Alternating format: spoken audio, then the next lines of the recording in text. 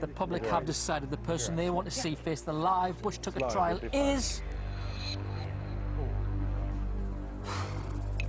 Gillian. Ah, come and join us, Gillian. Could you? Gillian, come over here. Should be Come and join of us, please.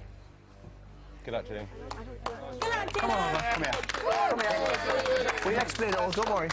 We'll explain exactly what's going on, okay? Oh, oh, oh, Let's get Bob in. Bob. Bob. Okay, bring the oxygen in, please. Let's get the Okay. gas.